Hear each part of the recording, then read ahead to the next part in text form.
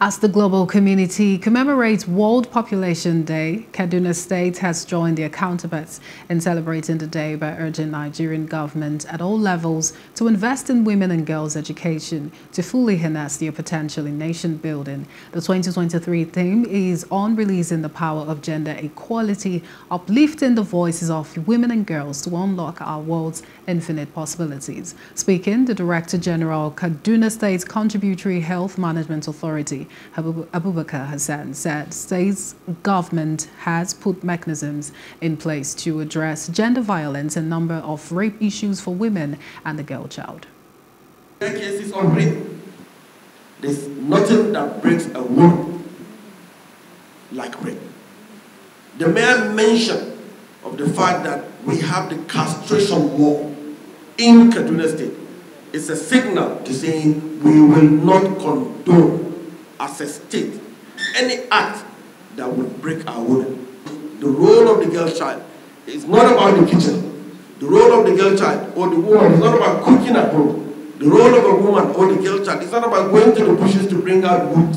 It's not about the woman or the girl who goes, whose role is go to the stream to fetch water. The woman or the girl has greater potentials to help shape the world. This is our position.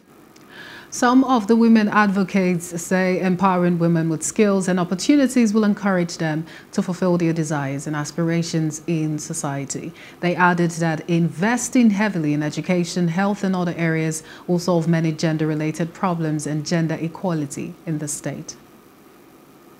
So we've been able to provide um, education, training and skill and also commodities for family planning services, and reproductive health services. One of those projects is the Matasan Matan Arewa with AH, um, adolescent SFH, which is the A360, and it targets married adolescents between the ages, um, young adolescents, so young teenagers, adolescents, in our local government areas, and they are provided with um, knowledge and skill to empower them, arts and crafts, knowledge um, and skill in housekeeping.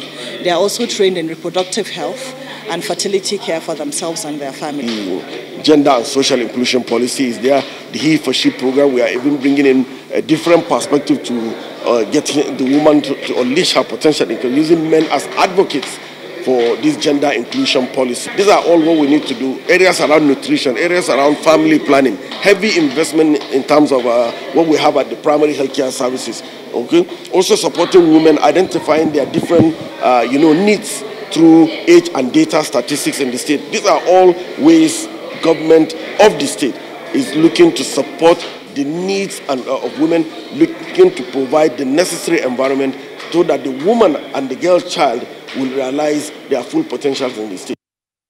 Hello, hope you enjoyed the news. Please do subscribe to our YouTube channel and don't forget to hit the notification button so you get notified about fresh news updates.